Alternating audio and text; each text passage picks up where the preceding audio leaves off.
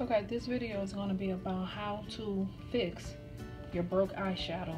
This is this is the MAC um, bronze eyeshadow. I just depotted it. Um, okay, you will need a toothpick, a quarter, some alcohol, and I just put the alcohol inside of this little spray bottle. Okay, I removed it out of the makeup compact. So I'm gonna make sure I'm gonna try to get everything kind of flat.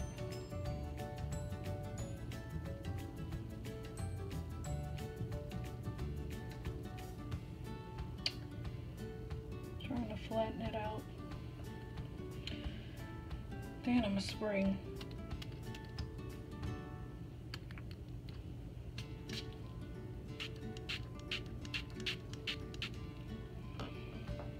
spray that in there. You don't want to get it too wet. You just want to get it wet enough to to lay back down.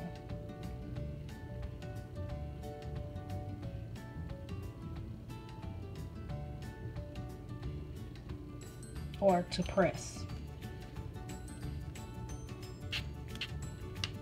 That's, that might be too wet see.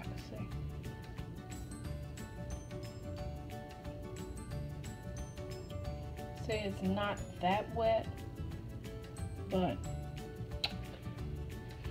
enough to press it.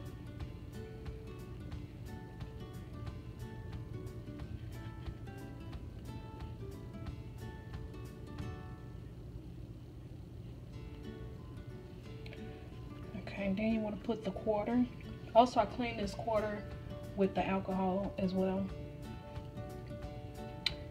And just lay it on top and press it.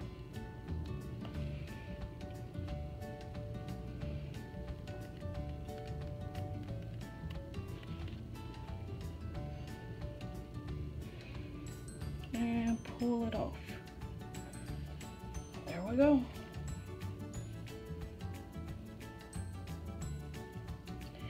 I mean, I could have got it. I didn't want to get it too wet, but